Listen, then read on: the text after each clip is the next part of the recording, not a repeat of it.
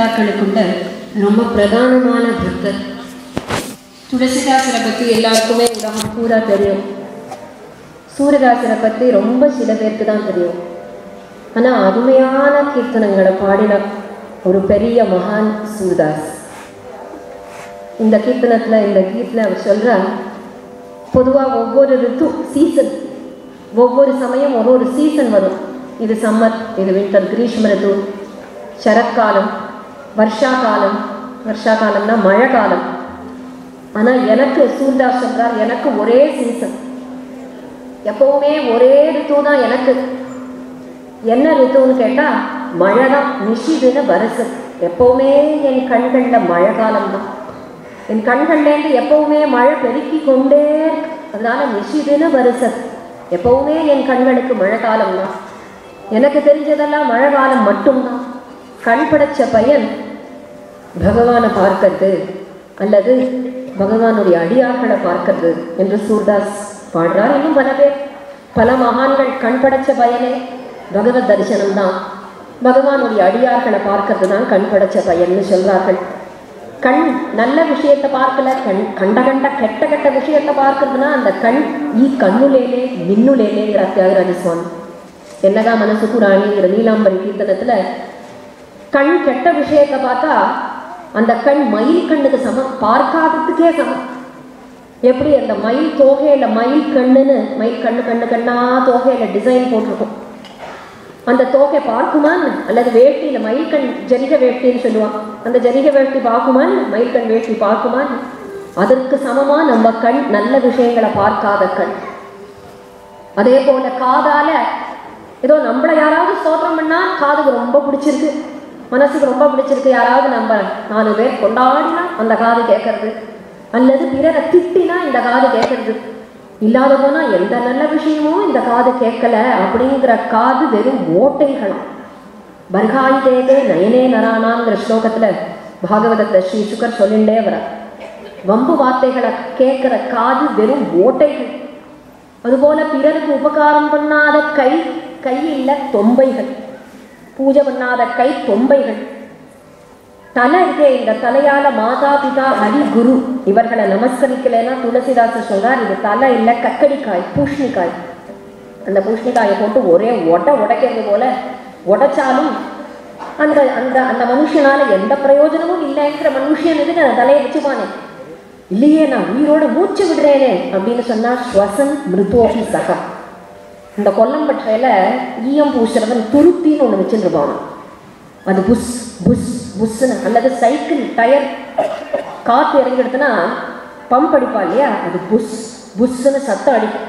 சத்தம் கேட்கும். அதுபோல தான் மூச்சு. ஒரு விதமான நல்ல விஷயத்திலையும் ஈடுபடாதவன் மூச்சு விடுறது. அந்த சைக்கிள் டயரில் பம்ப் அடித்து காற்று ஏற்றுறவன் மூச்சு வர்றது போல அப்படிங்கிறார் சுகர் சொல்லிகிட்டே வர கண்ணோ காதோ மூக்கோ நாக்கோ துவக்கோ சென்ஸ் ஆர்கன்ஸ்னு சொல்கிறோமே இதெல்லாம் சரியானபடி உபயோகம் பண்ணலைன்னா அது மனுஷன் இருந்தும் பிரயோஜனம் இல்லை. மிருகத்துக்கோ மரத்துக்கோ சமம். மரம் கூட எல்லாருக்கும் உபயோகப்படும்.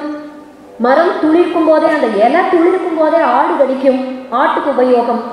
புஷ்பம் பூக்கும் பொழுது வண்டுக்கு தேன் கொடுக்கும். புஷ்பம் உபயோகம் வண்டுக்கு. பழங்கள்னா மனுஷியாளுக்கு உபயோகம். கிளை கொடுக்கும்போது கிளைகள்னா அடுப்புக்கு உபயோகம். மரத்தை வெட்டிவிட்டா கூட வீடு கட்டுறதுக்கு உபயோகம். ஜீவிச்சிருந்தா நிழல் கொடுக்கறதுக்கு உபயோகம். பொசுக்கி சாம்பலா கருக்கிவிட்டா கூட எருவுக்கு உபயோகம். அப்ப மரம் இருந்தும் உபகாரம். மரம் செத்தும் உபகாரம். மனுஷன் இருந்து யாருக்கு உபகாரம்? செத்து யாருக்கு உபகாரம்? அப்படின்னு கேட்பார் சொன்னா இருந்தும் சில பேர் மனுஷால் இருந்தும் கெடுத்தார்கள் கெட்டார்கள் செத்தும் கெடுத்தார்கள் கெட்டார்கள்னே சில பேர் லைஃப் ஹிஸ்ட்ரி அமையுமா. அப்படி வாழ்ந்தா என்ன பிரயோஜனம்? அப்போ மிருகத்துக்கும் நமக்கும் என்ன வித்தியாசம்? சூர்தாஸ் கீர்த்தனங்கள் தான் அதோட டிரான்ஸ்லேஷன் தான் இது அப்படியே சொல்லி வரும். பொதுவாக நம்ம எல்லாம் சொ சொல்லிப்போம். மனுஷன்னா ஆறாவது அறிவு இருக்குது சிக்ஸ்த் சென்ஸ் இருக்குது காமன் சென்ஸ்லாம் மனுஷனுக்கு தான் நிறைய டெவலப்மெண்ட்லாம் பண்ணி வச்சுருக்கோம். அதனால் மனுஷ ஜென்மாங்கிறது தான் ரொம்ப பெரிய கிஃப்ட் எதனால நிறைய டெவலப்மெண்ட்லாம் நடந்திருக்கு? ஏரோப்ளேன் கண்டுபிடிச்சிருக்கோம் ஃப்ளைட்டே கண்டுபிடிச்சிருக்கோம். அதனால மனுஷன் தானே கண்டுபிடிக்க முடியாது மிருகத்தால் கண்டுபிடிக்க முடியாதா? அப்படின்னு சில பேர் கேட்பான். அதுக்கு என்ன பதில் சொல்லிட்டே வருவார். பறவைகள்னா காலனா காசு செலவில்லாம பறக்கிறது தான் அதான் அந்த மாதிரி பறக்க தெரியல அதனால ஆயிரக்கணக்கான ரூபாய் நம்ம செலவழிச்சுட்டு பறக்கிறோம். அதில் ஒரு டெவலப்மெண்ட்னு சொல்லிட முடியுமா? பறவைகள் பறக்கிறதே. அப்போ பறவைகளை காட்டிலும் நம்ம என்ன ஒரு பெரிய விஷயம் பண்ணிட்டோம்? இல்லையா பெரிய வீடு கட்டிக்கிறோமே அப்படின்னு சொன்னால் தையல் பறவைன்னு ஒரு பறவை உண்டாம். இந்த வீவர்ஸ் பேர்டு இருக்கே. அது என்ன புயல் அடித்தாலும் அந்த நெஸ்ட் அது கட்டியிருக்கிற கூடு என்ன காத்தடிச்சாலும் கலையாது. அப்படி கட்டுமா? நம்மளுடைய வீடோ ஒரு சின்ன புயல் அடித்தா கூட சின்ன மழை வந்தால் கூட பொத்தல் நோந்துடுறது ஒழுக ஒழுக ஆரம்பிச்சுடுறது. அப்போ அந்த பறவையை விட நம்ம என்ன பெரிய விஷயம் பண்ணிட்டோம்? இல்லையே மைக்கு கண்டுபிடிச்சிருக்கோம் ஸ்பீக்கர்லாம் கண்டுபிடிச்சிருக்கோம். மிருகங்கள்லாம் கண்டுபிடிக்கலையே. அப்படின்னு கேட்டால் ஒரு மைக்கு தேவையில்ல ஒரு ஸ்பீக்கர் தேவையில்ல. அது மைக்கு ஸ்பீக்கராக ஸ்பீக்கராக திடீர்னு எக்கோ அடிக்கும் திடீர்னு பூம்னு சத்தம் கிடைக்கும். திடீர்னு சத்தமே கேட்காது. இந்த கொசு தூங்கும்போது எங்கே அதனுடைய வாய் இருக்குன்னே தெரியாத சுஸ்வரமாக காதோரமாக வந்து கட்டிகிட்டே கிடக்கும். அதுக்கு மைக் உண்டா? ஸ்பீக்கர் உண்டா? அது துணுண்டு கொசு அதுக்கு வாய் இருக்கிறதுனே தெரியாது. ஆனால் அது ஏதோ நமக்கு சுடி கலைஞ்சா கூட கலையிறது வண்டுக்கோ கொசுக்கோ சுடி கலைய மாட்டேங்குது. அப்படின்ட்டு அப்போ அதை விட என்ன பெரிய விஷயம் நம்ம சாதிச்சிட்டோம்? நிறைய சேவிங்ஸ் அக்கௌண்ட்ல நிறைய சேவிங்ஸ் வச்சுருக்கேன். மிருகங்கள்லாம் வச்சிருக்கா. இந்த வண்டு என்ன பண்ணுமா? அழகாக்கும். பருவ காலத்துக்காக பருவ காலத்துக்காக இருக்கட்டும் இருக்கட்டும் இருக்கட்டும்னு பெரிய அழகா. ஏன்னா நம்மெல்லாம் சேவிச்சு நம்மெல்லாம் கூட அந்த மாதிரி கட்ட முடியாது. தேன் கூடு கட்டவே முடியாது. அப்படி அழகாக அழகாக அது ஒரு சேவிங்ஸ் வச்சிருக்கான் இல்லையே நான் நல்லா போய் சம்பாதிச்சு சம்பாதிச்சு வரேனே அப்படின்னா ஒரு ஒரு புலியோ ஒரு சிங்கமோ அப்பப்போ போய் வேட்டையாடிட்டு பெரிய பெரிய பெரிய பெரிய மிருகங்களை கூட வேட்டையாடின்னு வந்து விடுது. அப்போ நம்ம பண்றதே எல்லாம் மிருகங்கள் அண்டர் கிரவுண்ட்லயே வீடு கட்டிக்கிறது எலி காலனா காசு ரெஜிஸ்ட்ரேஷன் செலவில்லாம. அப்போ நம்ம பண்ணோம் நினைச்சிருக்கோம். இருக்கோம் பெரிய அறிவு ரொம்ப புத்திசாலி நினைச்சிருக்கோம். அந்த பல் அதுக்கு கொஞ்சம் கவனிச்சு பார்த்தா நம்மளை விடவே அறி அறிவு ஜாஸ்தியா இருக்கு. இந்த பள்ளி நேக்கா வந்து பூச்சியை எப்படி பதுங்கி பிடிக்கிறதுனே தெரியாது. அது வந்தது தெரியாம ஓசப்படாத பிடிச்சிடும். அதுபோல மாட்டுக்கு மேய விட்டா தன் கொட்டு எதுங்கிறது கரெக்டா திரும்பி மே மேய்ஞ்சிட்டு வந்து அவனுடைய இடத்துல வந்து திரும்பி இருக்கணுங்கிறது தெரியாது. நமக்கு யார் திருடான்னு தெரியாது நாய்க்கு யார் திருடன்னு தெரிஞ்சு குலைக்கிறது. நம்ம எல்லாரையும் ஒண்ணுதான் தான் இருக்கோம். நாய்க்கு திருடனை கண்டா தெரிஞ்சு விடுறது அதுக்கு ஏதோ ஒரு ஸ்மெல்லுன்னு சொல்றா. பின்ன அது நம்மளை விட அறிவு ஜாஸ்தி ஆயிடுறது இல்லையா? அப்போ நம்ம அறிவு ரொம்ப ஜாஸ்தி நினைச்சு இப்போ கூட சயின்டிஸ்ட் எல்லாம் பூகம்பம் வந்தா கண்டுபிடிக்கிறதுக்கோ சுனாமி வந்தா கண்டுபிடிக்கிறதுக்கோ பெரிய பெரிய சயின்டிபிக் மிஷின் எல்லாம் கண்டுபிடிச்சு வச்சிருக்கா இல்லையா? பெரிய பெரிய மிஷின்லாம் வச்சிருக்கா ஆனா மிருகங்களுக்குலாம் அது முன்னாடியே தெரிஞ்சுக்கணும். பூகம்பம் வரப்போகிறது அர்த்வேக் வரப்போகுதுன்னா நாய்க்கு முன்னாடியே தெரியுமா? ஒரு ஒரு பிராணிக்கு ஒவ்வொன்றும் முன்னாடியே தெரிஞ்சிடும். பெரிய பெரிய மிஷின்லாம் வச்சுருப்போம் அது பூகம்பம் வந்தப்பறம் ரிச்சர்ஸ் எல்லாம் இவ்வளவுன்னு காண்பிக்கும். அது முன்னாடி ஒன்றும் காண்பிக்காது. வந்த பிறகு இவ்வளவு வந்திருக்குன்னு அதை வச்சு என்ன பிரயோஜனம்? ஆயிரக்கணக்கான கோடிக்கணக்கான ரூபாய் செலவு தான் மிச்சம். ஆனால் இந்த நாய் வரத்துக்கு முன்னாடியே ஒரு மணி நேரம் முன்னாடியே கட்டிடும். அதே மாதிரி யாராவது போக போகிறோன்னா கூட முன்னாடியே தெரிஞ்சிடும் நாய். அப்போ நம்மளை விட அறிவா இந்த நாய்.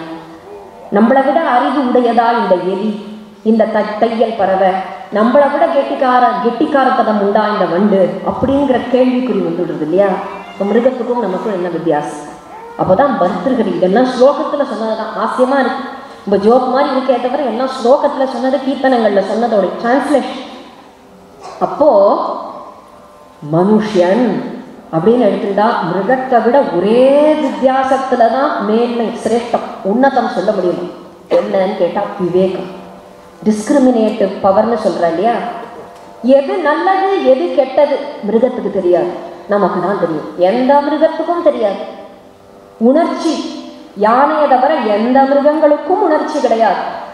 பிரேமை விவேகம் அன்பு அப்படிங்கிறது இந்த மனுஷனுக்கு மட்டும்தான் உண்டாகும் இந்த மனுஷன் அந்த விவேகத்தை பயன்படுத்தி பயன்படுத்தி பேரானந்தத்தை அடையலாம் சொல்றார் தியாகராஜ சுவாமி. பரமானந்தத்தை அடையலாம்னு சொல்றார். அந்த பிளிஸ் அப்படின்னு சொல்றோமே அந்த பிளிஸ் மிருகங்கள் அடைய முடியாது. என்னதான் குட்டிகரணம் அடித்தாலும் மிருக ஜென்மாவுக்கு அதனுடைய லிமிட்டேஷன் ஆனால் மனுஷன் தெய்வமாகவே போயிட முடியும். எப்போ? அந்த பூர்ண நிலை வரும் பொழுது அந்த பூர்ணத்துவம் அந்த திருப்தி பொருளையே பொருளையே பொருளையேனா அந்த எல்லா லௌகீக தேவைகளுக்கு ஒரு முற்றுப்புள்ளியோ எண்டோ ஒரு ஃபுல் ஸ்டாப்போ கிடையவே கிடையாது. லௌகீக எல்லைகளுக்கும் கிடையாது லௌகீக ஆசைகளுக்கும் கிடையாது. அதனால லௌகீக முன்னேற்றங்கள்லாம் தயாரிக்கிறாள். புதுசு புதுசாக அதுக்கும் ஒரு ஃபுல் ஸ்டாப் கிடையாது. இன்னும் வேணும் இன்னும் வேணும் இன்னும் வேணும்னு அடிச்சுக்கிறவனுக்கு நிம்மதி கிடையாது. ஆனா இந்த ஆனந்தத்தையே இதே சம்சாரத்துல இதே உலகத்திலேயே இருந்து கொண்டு பூர்ண நிலையை அடைஞ்ச பெரிய பெரிய மகான்கள்லாம் இருந்திருக்காரு. இதே உலகம் நம்மளை போல ஒரு ஜீவன். இன்னும் சில பேருக்கு கண்ணு தெரியாது சில பேர் காது கேட்காது. அப்படி இருந்தும் பரமானந்தத்தை அட அடைய முடியும் அப்படின்னு காண்பிக்கிறது தான் சூர்தாசனுடைய கதையோ கபீர்தாசனுடைய கதையோ பெரிய மகான்களுடைய கதையோ. அந்த பரமானந்தம் அவர்களுடைய கதையை கேட்டாலே நமக்கு ஏற்படுறது அந்த கதையை கே சொன்னாலே நமக்கு ஏற்படுது. அதனால இந்த மகான்களுடைய கதைகளை அடிக்கடி சொல்கிறோம் கேட்குறோம் அப்படி பல மகான்களில் இந்த சூர்தாஸ் ஜன்ம நேற்றஹீனஸ்ச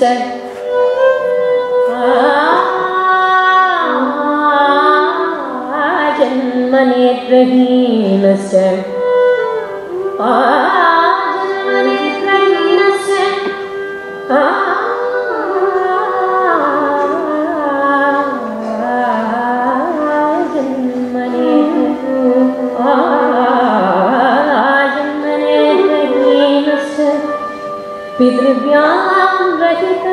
शिशुः शिशुः नेत्रहीनश्च शिशुः आजन्मया जन्मनेत्रहीनश्च पितृव्यां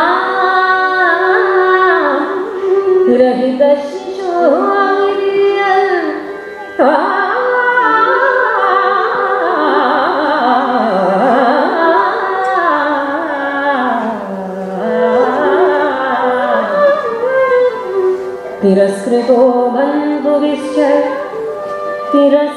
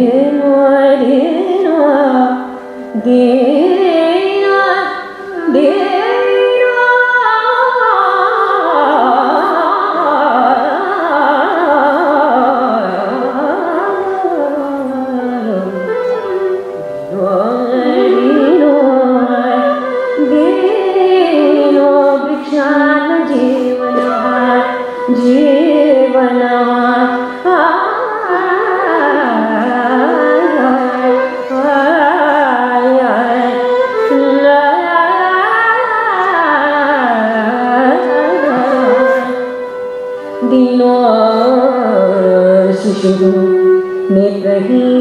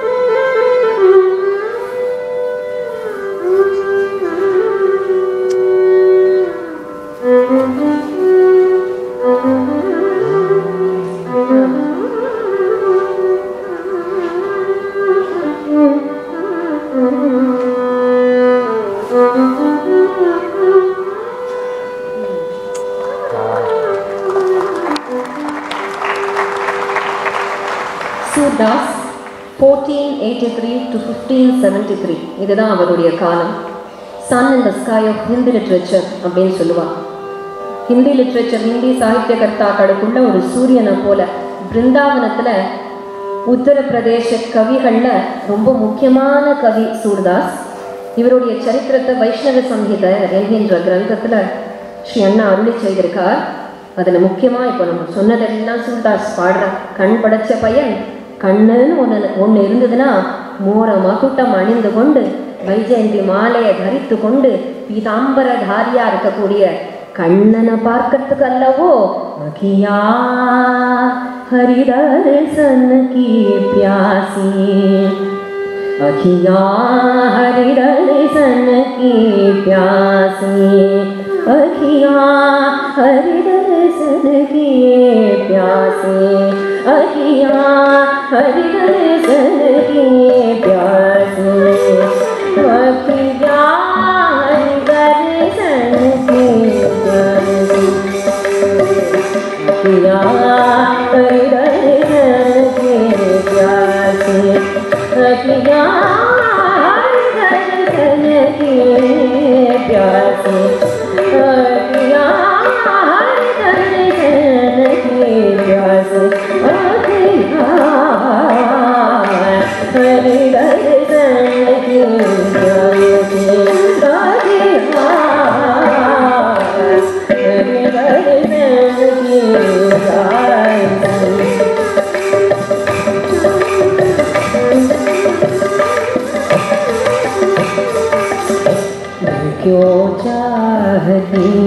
कमल नयन को क्यों चाहती कमल नयन को क्यों चाह कमल नयन को निश दिन रहती उदासी क्यों चाहती कमल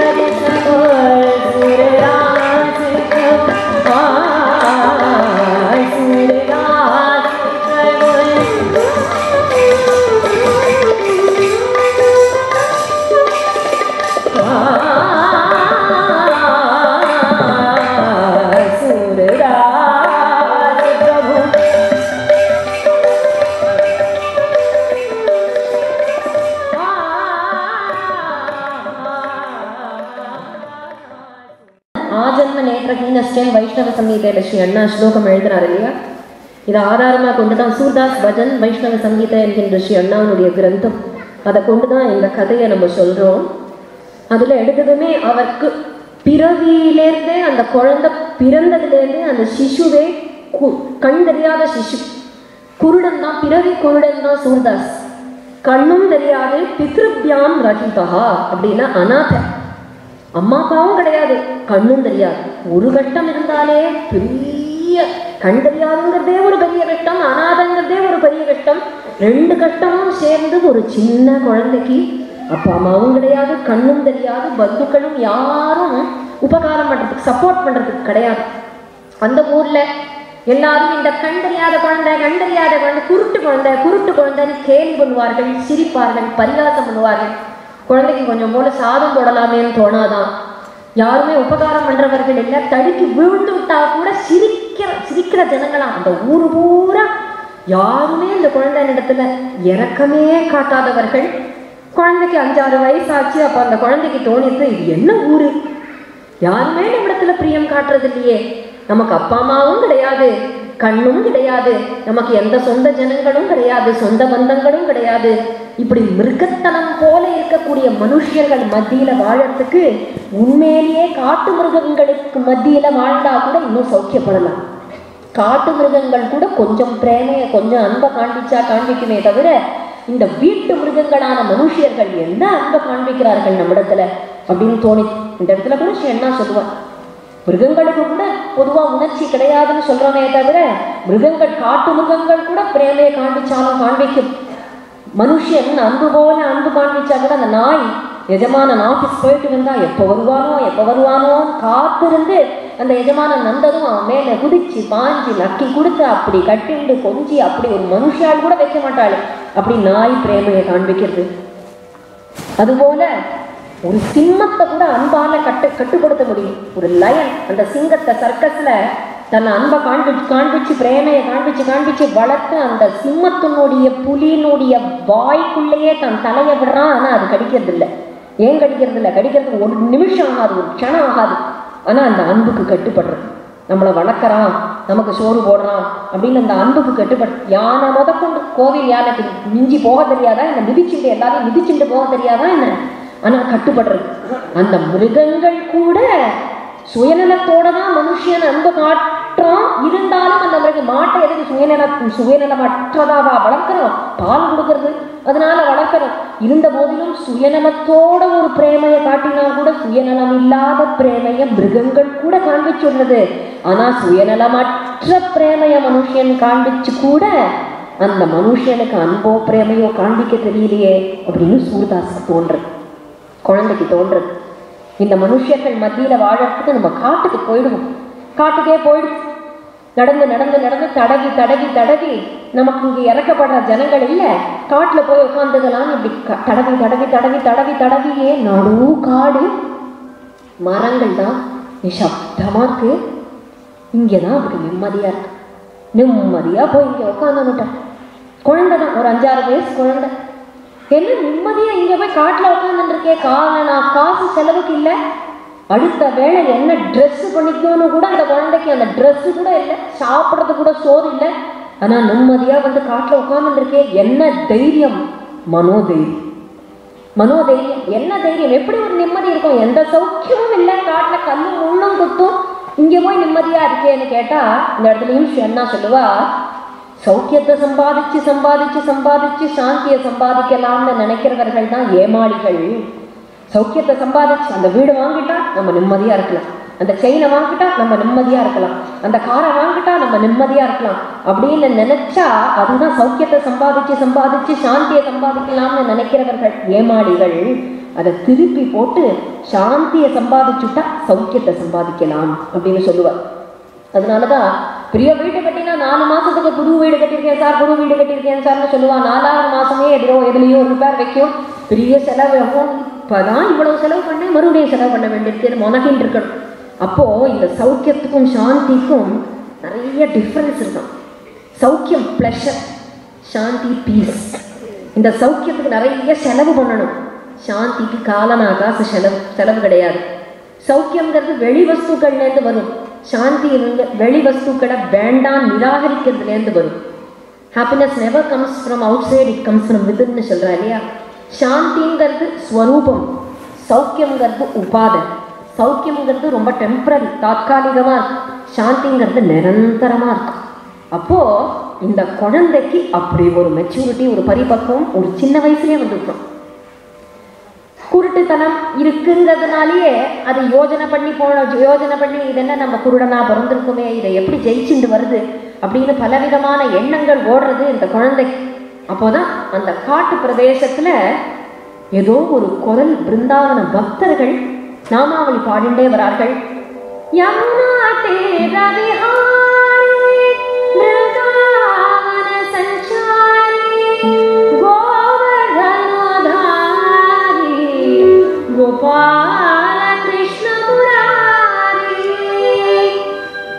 இப்படி ஒரு குரல் கேட்கறது யாருன்னு தெரியலையே. பக்கத்துல போய் பார்ப்போம்னு நடந்து நடந்து குழந்தை பக்கத்துல போய் பார்த்தா மறுபடியும் இந்த நாமாவளியை பாடிண்டே யமுனா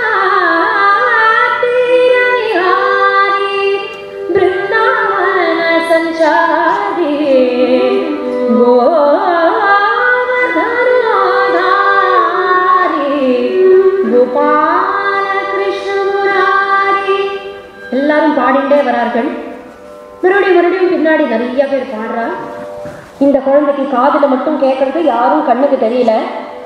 யமுனா தீர விகாரி யமுனா தீர விகாரின்னு எல்லாரும் பாடுறாளே. யாரா இருக்கும் இந்த யமுனா தீர விகாரி பிருந்தாவனத்துல யாரோ விகாரம் பண்றா போல இருக்கு. அவனை பத்தி தான் பாடுறா. பிருந்தாவன சஞ்சாரி. கோவர்தனோ தாரி கோவர்தன மலையே தூக்கிட்டான் போல இருக்கு. யாருன்னு தெரியலையே. கோபால கிருஷ்ண முரானின்னு அவனுக்கு பெயர் போல இருக்கு. அவன் யாருன்னு தெரியணும். அப்படின்னு முதல் முதல்ல இந்த வார்த்தைகள் மனசுல வந்து யமுனா தீரவிஹாரி. அப்படியே மனசுல பாயந்தான்.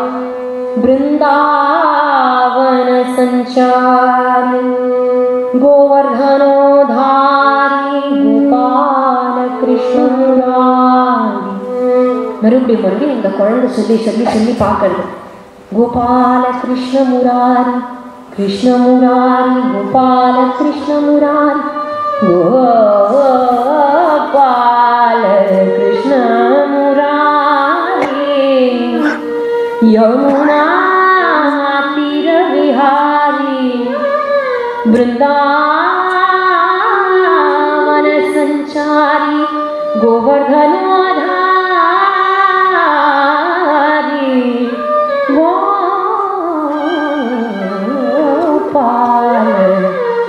Krishna Murari Krishna சொல்லி சொல்லி பார்க்கறது ஒரு ஆக்கர்ஷணம் வந்து அந்த குழந்தைக்கு இந்த வார்த்தை ஒவ்வொரு வார்த்தையும் மனசில் வந்து பாய பாய ஊற ஊற அந்த குழந்தைக்கு தானா வாயில பாட்டா பாடலா வர ஆரம்பிச்சிருக்கும். இந்த சொல்லி சொல்லி சொல்லி பார்க்க பார்க்க தானே பாடல்கள்னா அந்த கிருஷ்ணனை பத்தி தெரிஞ்சுக்கணும் அந்த முராரியை பத்தி தெரிஞ்சுக்கணும் கோவர்தன மலையை எப்படி தூக்கினான்னு தெரிஞ்சுக்கணும் பிருந்தாவனத்துல எப்படி விஹாரம் பண்ணினான்னு தெரிஞ்சுக்கணும்னு கண்ணு தெரியாது. ஆனா விஷயங்கள் நான் எப்படியோ தெரிஞ்சுனுட்டார் இவருடைய சூர் சாகரை எடுத்து பார்த்தாலே இவருக்கு தெரியாத விஷயமே கிடையாதுங்கிறது தெரியும் கண்ணு வேணா தெரியலையே தவிர இவருக்கு தெரியாத விஷயமே கிடையாது. உலகத்தில் இருக்கிறவா எல்லாருக்கும் கண்ணு தெரியும். ஆனால் எந்த விஷயம் முக்கியமா தெரியணுமோ அது யா- எதுவுமே தெரிஞ்சுக்காம இருப்பா. அப்படி இல்லாத இவருக்கு கண்ணு தெரியல. ஆனால் எல்லா விஷயமும் தெரிஞ்சும். மெல்ல மெல்ல இந்த அந்த வார்த்தைகள்லாம் ஊற ஊற ஊற வாயில கோவிந்தனை பத்தி கோவிந்தம் சுஸ்வரம் காயன்னே சச்சாரயமுனாவனே அகிஞ்சனானாம் நாம பரந்தனமே கையில காலனா காசு இல்ல ஆனா காட்டுல நிஷ்கவலையா அலைகிறாரே எப்படி கேட்டா அகிஞ்சனானாம் தீனானாம் கிருஷ்ண நாம பரம் தனம் கிருஷ்ண நாமமே பரம் தனம் எனக்கு அப்படின்னு சொல்லிக்கொண்டே கண்ணனுடைய லீலைகளை பாடி பாடி இந்த நாமாவளி ஒன்று தான் கேட்டது. அது டர்னிங் பாயிண்ட் ஆயிடும் டர்னிங் பாயிண்ட் சூர்தாஸுடைய லைஃப்லேயே அந்த குழந்தைக்கு வாயில விடாத பாடல்கள் வர ஆரம்பிச்சுடுக்கு மதுவன கும்மக்கோ ரகதகவே மதுவன கும்மக்கோ ரகதகவே மதுவன கும்மக்கோ ரகதகவே மதுவன கும்மக்கோ ரகதகவே của trời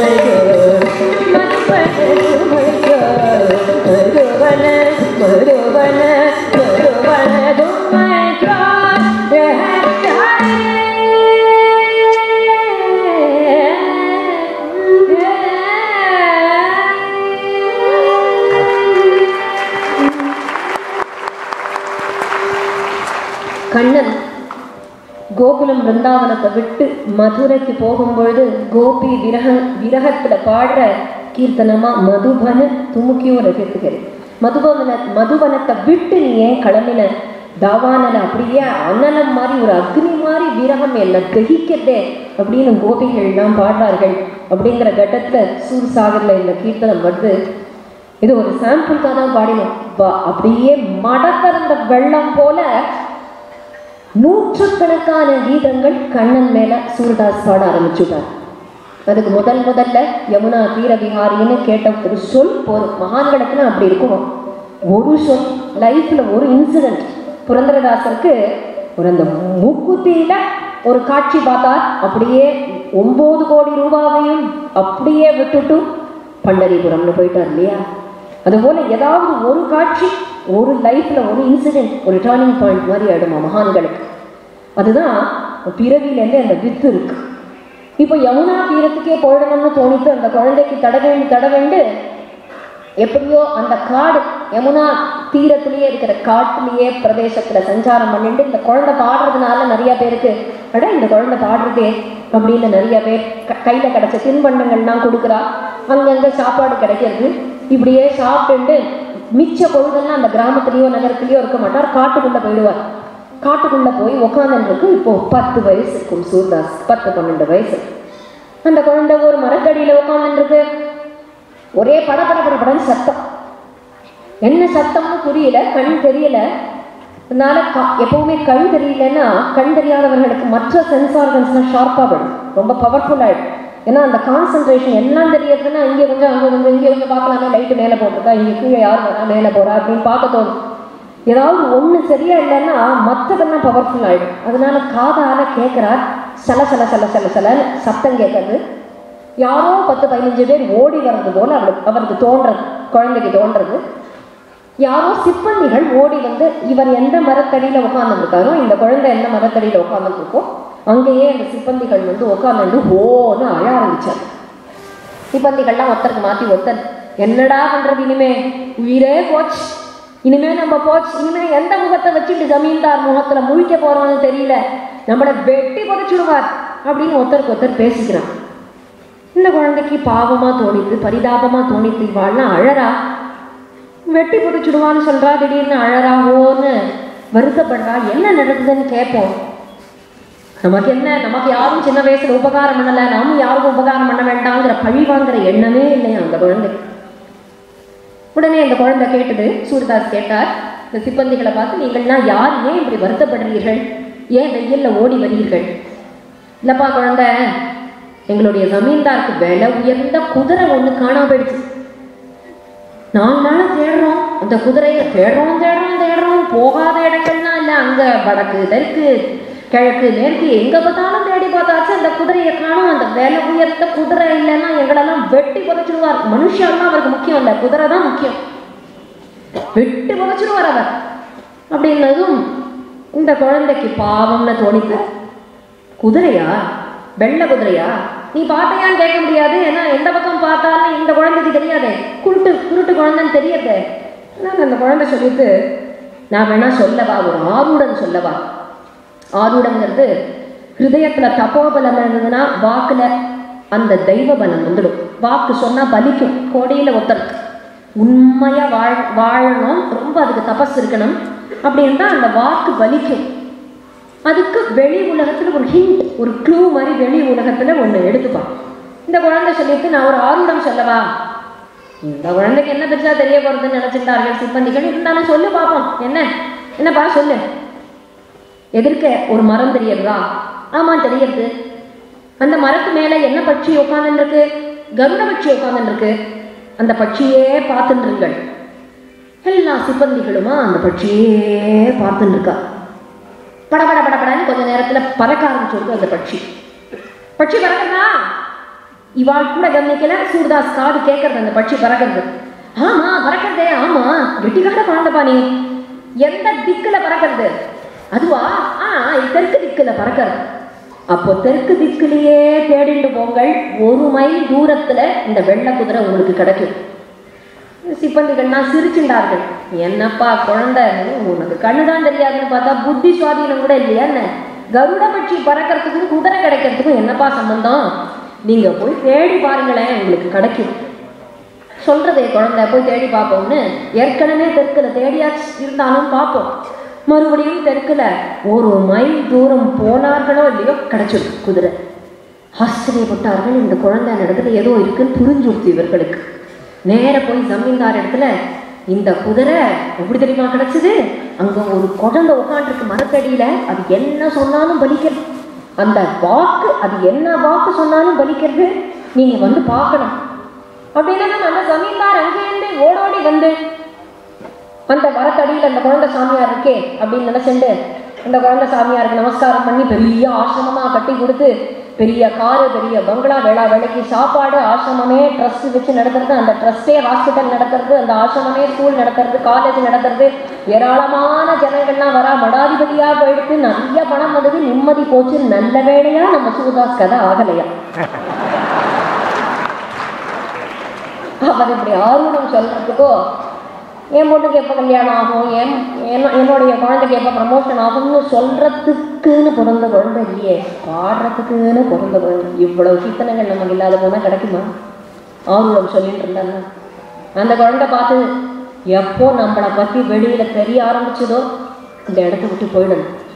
அப்புறம் ஜோசியம் சொல்கிறது தான் சரியா நம்ம கடமிடணும் அப்படின்னு தோணித்து ராத்திரியோட ராத்திரியை ராத்திரியும் ஒன்று தான் பகலும் ஒன்று தான் இந்த குழந்தைக்கு. அதனால் ராத்திரியோட ராத்திரியாக கிளம்பிடுச்சு. கிளம்பி நடந்து நடந்து நடந்து யாரும் சகாயம் கிடையாது. ஒரு த- தன்னன் காடு பிருந்தாவனம் போற பாதையில மனுஷ நடமாட்டமே இனி இங்க இருக்க முடியாதுங்கிற இடத்துல போய் உக்காந்துட்டு ஒரு இடத்துல புலி சிங்கங்கள் தான் சஞ்சாரம் பண்ணும்.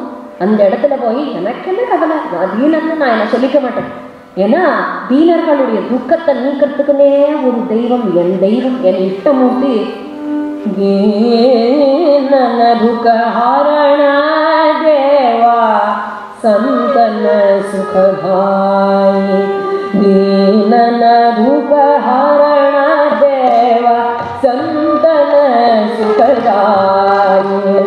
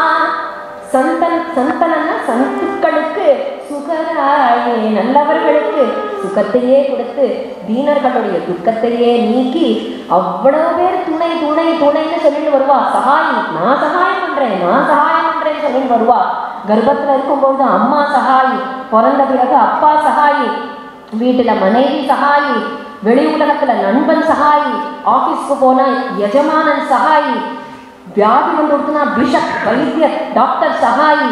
கடைசி நேரத்தில் யாரும் உதவ முடியாதுன்னு கைகால் நான் இழுத்து கண் சொருகி புத்தி வேதனைக்கும் பொழுது யார் சகாயி? அப்போ கிருஷ்ணா அஞ்சு பேர் துணைவனாயிருந்து இருந்து பலசாலி பீமன் பராக்கிரமசாலி அர்ஜுனன் தர்மத்துக்குனே தர்மபுத்திரன் நகுலன் சகாதேவன் அஞ்சு பேர் இருந்தும் சபாபீஜே கிருஷ்ண கிருஷ்ண திரௌபதி புகாரி சபையில இருக்கிறா அப்படின்னு கத்தலையே சபையில பீமா காப்பாத்து அப்படின்னு கத்தலையே சபையில அர்ஜுனா நகுலா சகாதேவன் கா- காப்பாத்து அப்படின்னு கத்தலையே சபா பீச்சு கிருஷ்ணா கிருஷ்ணா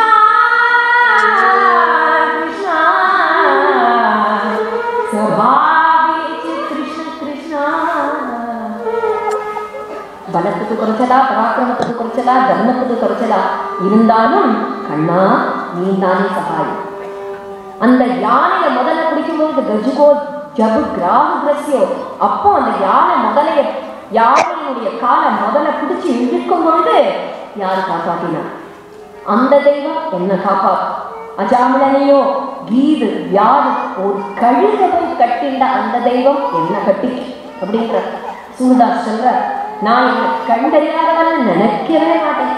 கண்டறியாதவனாவது கால் சரியாகாதவனாவது கை சரியாகாதவனாவது மனசுன்னு ஒண்ணு கொடுத்துருக்க. ஒன்னை நினைக்க ஒரு பாக்கியம் கொடுத்துருக்க. அப்படி இருக்கும் பொழுது ஒன்னை நினைக்கலனா அதுதான் துர்பாக்கியமான ஜென்மாவே தவிர கண்ணோ காலோ மூக்கோ நாக்கோ சரியாகாதனால துர்பாக்கியமான நான் ஒரு காலம் நான் என்ன நினைக்க மாட்டேன். இந்த க்ஷணம் உன்னை பாடக்கூடிய பாக்கியத்தை கொடுத்திருக்கியே. பிரபோ சந்தன சுகதாய்.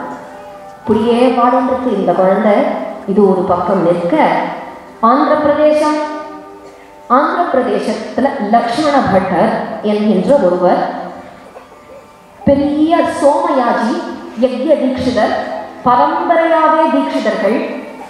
அவருடைய குடும்பத்துல ஒரு வதந்தி. ஒன்று சொல்லப்பட்டிருக்கு. என்ன? நூறாவது யாகம் எப்பொழுது முடியுமோ ஒரு பெரிய மகாபுருஷன் அவதாரம் பண்ண போறான். அப்படின்னு சொல்லப்பட்டிருக்கு இந்த லக்ஷ்மண பட்டருடைய காலத்துல தான் இந்த நூறாவது யாகம் முடியது. ஒரு ரெக்கார்ட் மாதிரி ஒன்று வச்சுருக்கா அதில் முதல் யாகத்திலே வந்து எப்பப்போ பண்ணியிருக்கா யார் யார் பண்ணியிருக்கான்னு ஓலைச்சுவடியில் எழுதி வச்சுருக்கா. அப்போ ஏழு தலைமுறையாக அந்த யாகங்களை பண்ணிட்டு வந்திருக்கா. நூறாவது யாகம் லக்ஷ்மண பட் லக்ஷ்மண பட்டர் இந்த ஆந்திர பிரதேச சேல சேர்ந்த லக்ஷ்மண பட்டர் காலத்தில் நூறாவது யாகம் வந்து அவருக்கு ரொம்ப சந்தோஷம். நமக்கு மகாபுருஷன் கிடைக்க ஆச்சரியம் நூறாவது யாகம். கணக்கு வந்திருக்கு.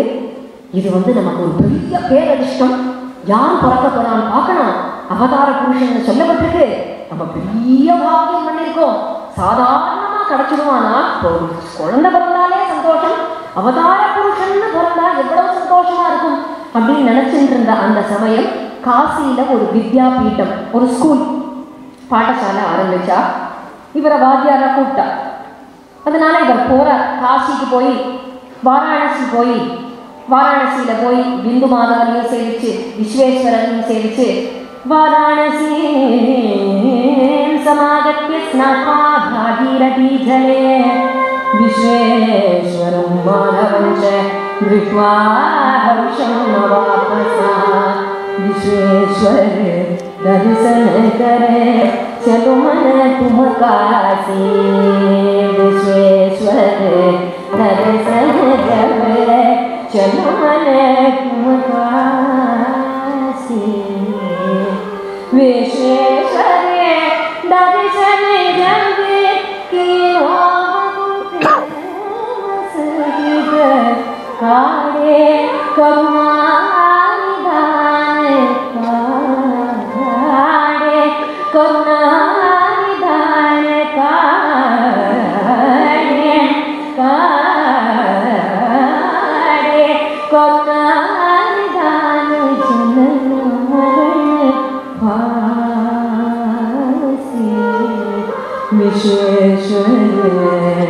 दर्शन करे चलो मन சுவாதி திருநாள் கீர்த்தனம் காசிக்கு போய் விஸ்வேஸ்வரரை தரிசனம் பண்ணி பிந்து மாதவனை தரிசனம் பண்ணி அங்கேயே காசிலேயே நூறாவது யாகம்னு பண்றார் பண்ணினதுமே இவருடைய மனைவி கர்ப்பவதியானார் ரொம்ப சந்தோஷப்பட்டார் பலிக்கிறது மகாபுருஷன் பிறக்க போறோம் சந்தோஷப்பட்டு இருக்கார் பூர்ண கர்ப்பவதி எந்த சமயம் வேணா குழந்தை பிறக்கும். அப்போதான் காசியில இந்து முஸ்லிம் கலக காலம் வந்ததும் எல்லாரும் குண்டு அடிச்சுட்டு எல்லாரும் பயந்து ஓடினார்கள் காசியை விட்டு. ஓடும் பொழுது இவரும் இங்க இருக்க முடியாது. இந்த கர்ப்பவதியான மனைவியை அழிச்சுட்டு இவரும் அந்த காசியை விட்டு ஓடுறான் எங்க ஓடினா உயிர் தப்பிக்குமோங்கிற நிலையில அந்த கலகம் முடிஞ்சு திரும்பி வந்துடலாம்னு நடந்து நடந்து நடந்து நடந்து நடந்து நடந்து. பெரிய காடு சம்பாரண்யம். சம்பல்பூர்னு சொல்லுமே அந்த சம்பல்பூர் காட் அங்கேருந்து பதினஞ்சு கோஷ தூரம் நடந்து நடந்து வந்துட்டா இன்னுமே என்னால் நடக்க முடியாது. அப்படின்னா அவருடைய மனைவி அங்கேயே ஒரு மரத்தடியில குழந்தை பிறந்து தத்ரைவ சுசுதே புத்திரம் சர்வலட்சண சம்யுதம் சமீ சமீபே து சதீசா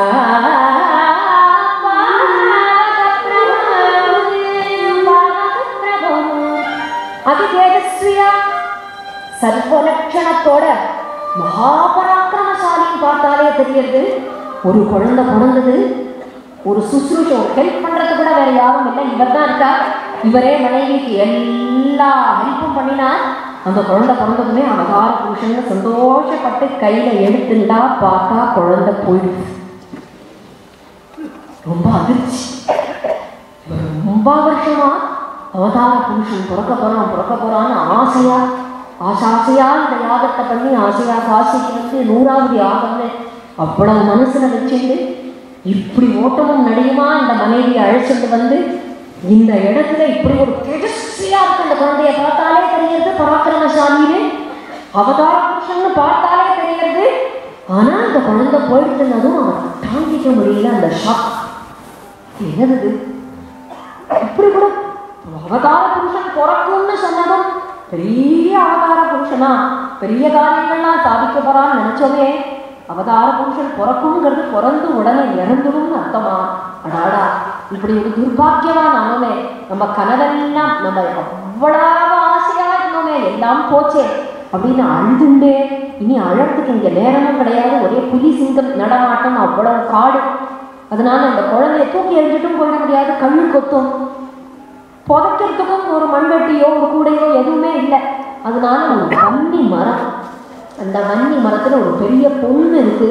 அந்த பொண்ணுலேயே இந்த குழந்தைய அழுதுண்டே அந்த குழந்தைய அங்க வச்சுட்டு காட்டு இலைகள் தழைகள் எல்லாம் பறிச்சு அந்த குழந்தைய மூடி என்னவோ மகாபுருஷன் எனக்கு பாக்கியம் இல்லை அப்படின்னு அந்த குழந்தைக்கும் ஒரு அஞ்சலி பண்ணிட்டு அந்த த தழைகள் இலைகள்லாம் வச்சு மூடிட்டு இவர் நவப்பிரசூதியான மனைவியாச்சே மனைவியை அழைச்சிட்டு அழைச்சிட்டு அழுதுண்டே சோர்வு மனசுல அழுதுண்டே ஒரு கிராமத்துக்கு வந்தால் தின்ன களைச்சி போய் ரெண்டு பேருமே தூங்கி போயிட்டா ரொம்ப தூரம் நடந்த நடந்த கலப்பு தூங்கி போயிட்டான் அந்த தூக்கத்துல கனவுல ஒரு மகாபுருஷர் சாட்சாத் பகவான் தான்.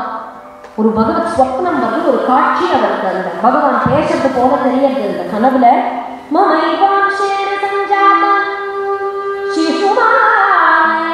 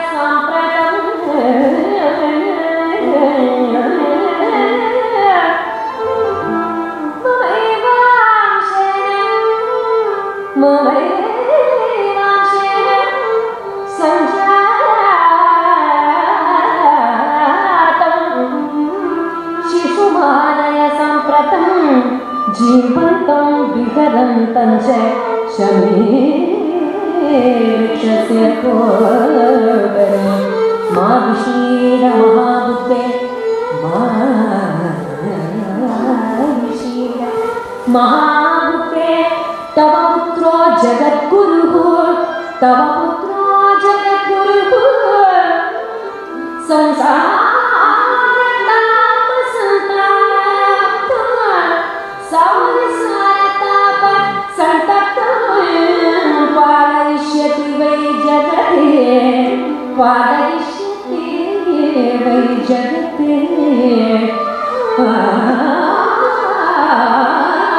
पादविष्यते वै जगते महायुवांशेन மாஷீரமஹா தே புத்திசாலியே லக்ஷ்மண பட்டரே கவலைப்படாதீர். என்னுடைய அம்சமா இந்த குழந்தை பிறந்திருக்கு. இது சாக பிறந்த குழந்தை இல்லப்பா. வாழ பிறந்த குழந்தை வாழ கற்றுக் கொடுக்க பிறந்த குழந்தை. ஜெகத்குருவா இருக்க போற குழந்தை அத்தனை பேரும் சம்சாரத்திலேருந்து கரையேற்ற போற குழந்தை இந்த குழந்தைய போய் அந்த சன்னி விருட்சம் வன்னி மர- மரத்திலேருந்து வீட்டு கொண்டு வா கோட்டரத்துல. கோட்டரம்னா இந்த பொந்துல புதைச்சி வச்சிருக்கியே. அந்த குழந்தைய கொண்டு வா உடனே கொண்டு வந்து வளர்ப்பாயாக. பட்டுன கனவு கலைஞ்சதும் இது உண்மையாக இருக்க முடியும். இல்லாத போனா இப்படி ஒரு காட்சி வருமா? பொழுது விடியவே இல்லை இருந்த போதிலும் பொழுது விடியட்டம்னு அவர் காத்திருக்கல விடிஞ்சதும் முடியாதுன்னு ஓட்டமா ஓடுறா. அவருக்கு மனசுல ஒரு தாபம். இந்த கதை முடிக்கணுமே குழந்தை நமக்கு கிடைக்கணுமே. குழந்தை உயிரோட இருக்கணுமே. அதனால மனசு சமாதானமா இருக்கட்டும்னு பகவத்கீதை ஸ்லோகங்கள்லாம் சொல்லிட்டே போகும் நமக்கு சமாதானமா இருக்கட்டும் எப்பவுமே நமக்கு வருத்தமா இருக்குன்னா தியாகராஜ சுவாமி கீர்த்தனமோ இல்லை ஏதாவது ஸ்லோகமோ சொல்லிட்டு இருந்தால் அந்த வருத்தம் தீருமே. அதனால பகவத்கீதை ஸ்லோகம் சொல்லிட்டே வந்து வந்து வந்து நடந்து நடந்து நடந்து நடந்து வந்து இப்படி வந்து பார்க்குறா சொல்லிட்டே ஒவ்வொரு ஸ்லோகமாக சொல்லிட்டு வரும்போது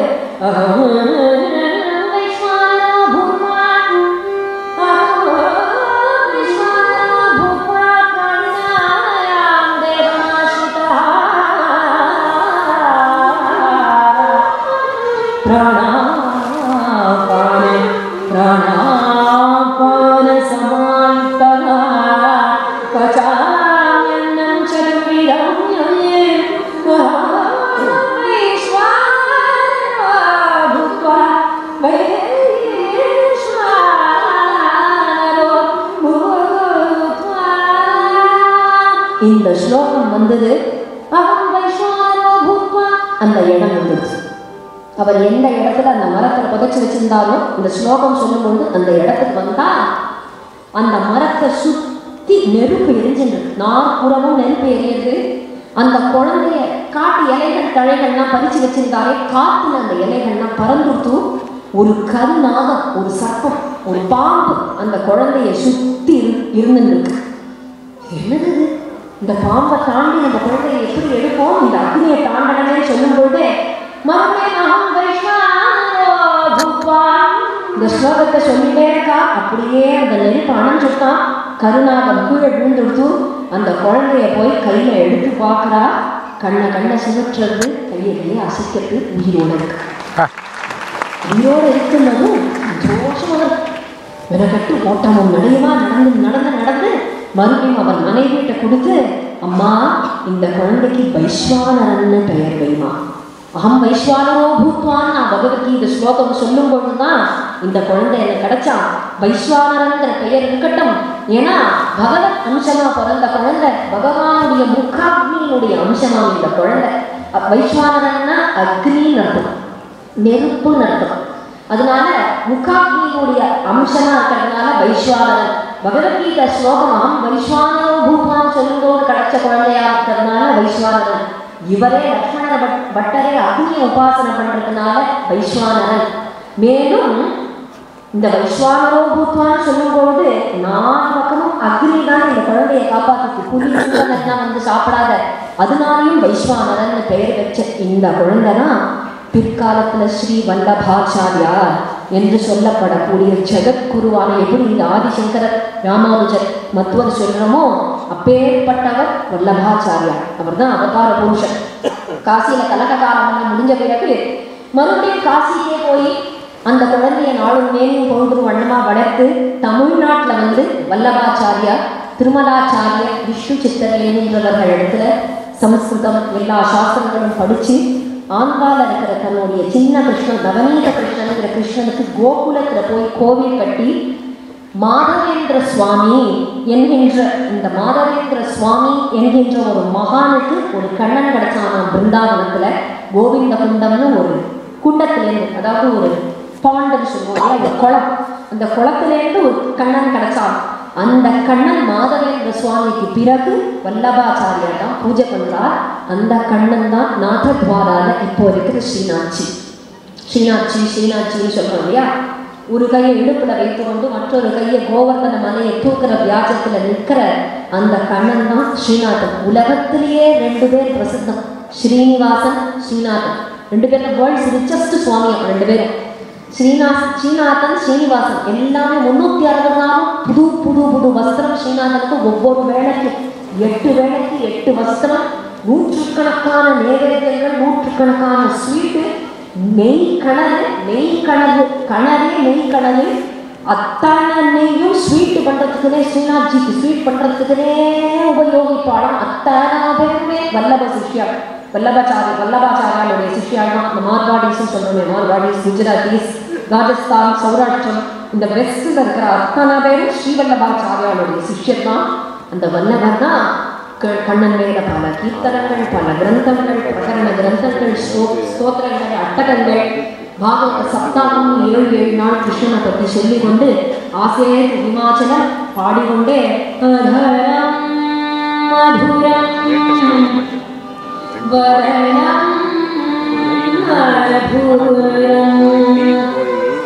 நயனம் மதுரம்